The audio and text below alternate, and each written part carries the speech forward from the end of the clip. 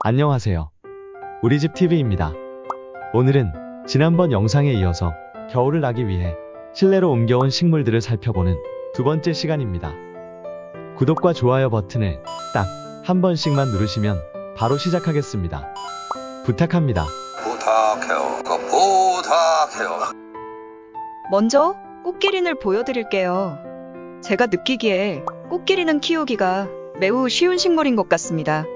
우리 집 꽃기린은 원래 지인분께서 키우던 것인데요. 거의 말라 죽어가던 것을 가져왔습니다.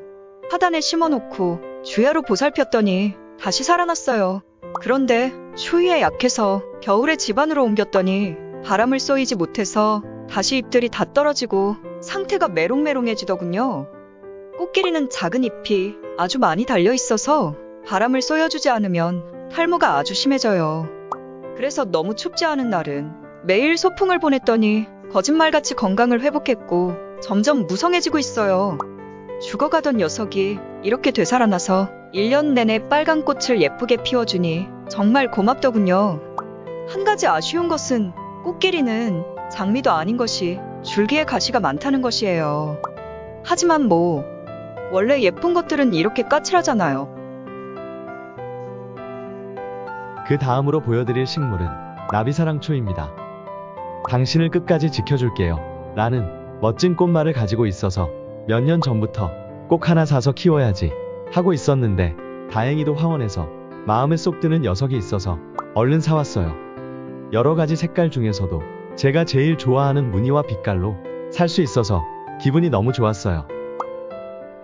나비처럼 밤이 되면 조용히 잠든 것 같이 날개를 접고 낮이 되면 헐헐 날아다니는 것처럼 날개를 활짝 펴는 것이 정말 신기해요.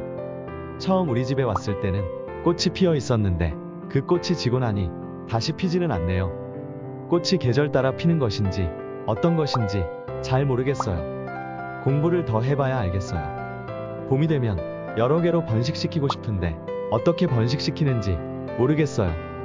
혹시 나비사랑초 번식시키는 방법을 아시는 분은 댓글로 알려주시면 감사하겠습니다. 세 번째는 상초입니다. 지난 11월에 상초를 화분에 심었었죠? 여기에 그때 겨울 상초 심는 영상이 있으니 못 보신 분들은 여기를 눌러서 보시는 것도 좋겠네요. 이 상초들은 햇빛이 비치는 현관에 두었는데요. 죽지는 않았지만 잘 자라지도 않고 있습니다. 현관의 기온이 낮아서 그런 것 같습니다. 평균 기온이 15도 이상은 유지되어야 성장을 한다고 하는데 우리 집 현관은 밤에는 10도 이하로 떨어지니까 쌈 싸먹을 정도로 자라지는 않고 샐러드로 먹을 정도로만 자라고 있습니다. 그래도 이걸로 만족해요. 봄이 되면 다시 밭에다 이식하면 남주 손바닥보다 크게 자랄 테니까요. 지난 설 연휴 한파 때에는 현관문이 얼어붙을 정도로 추워서 모조리 얼어 죽는 줄 알았습니다. 그 추위를 이겨내고 살아있으니 고맙네요. 이렇게 오늘 영상은 지난번 영상에 이어서 겨울을 나기 위해 집 안으로 옮겨놓은 식물들의 두 번째 영상이었는데요. 꽃기린, 나비사랑초, 그리고 상추가 잘 자라고 있어서 기분이 좋아요. 그런데 아직도 소개를 해드리지 못한 식물들이 남아있어요. 처음에는 영상 한 편으로 모두 소개를 해드리려고 했었는데 두 편의 영상으로도 모두 전해드리지 못할 만큼 식물들의 종류가 많네요. 오늘 보여드리지 못한 것들은 다음에 모두 보여드릴게요.